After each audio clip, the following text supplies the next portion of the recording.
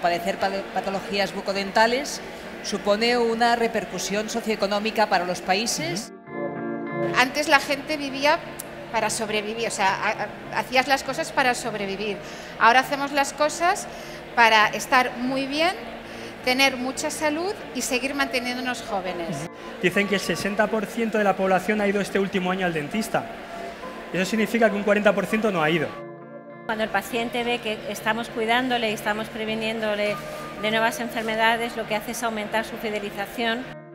La gran dificultad que pienso que tenemos es que las ventajas de los tratamientos periodontales no se ven de una manera inmediata, no, no tienen una repercusión, una recompensa inmediata, sino que más bien se ve a lo largo del tiempo.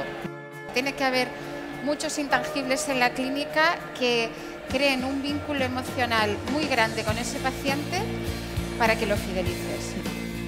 En mantenimiento durante 10 años el, se gasta en prevención 2 euros por año para retener un diente frente a 150 de un implante. Los que trabajamos sobre todo en periodoncia, hacerles comprender a los pacientes la relación entre la, periodontitis y otras enfermedades, como por ejemplo es la diabetes. Claro, llega el momento este dramático, ¿no? Que eh, fracasa el tratamiento periodontal y demás. ¿Cómo lo comunicáis al, paciente?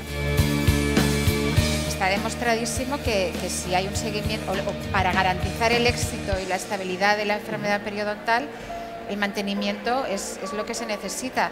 El paciente que está educado, el paciente que está fidelizado lo entiende. Yo creo que todo explicándolo bien y un paciente que es sensato al final lo termina eh, entendiendo la pérdida de un implante, por ejemplo. Más de un 70% de los pacientes no saben que pueden tener patologías perimplantarias.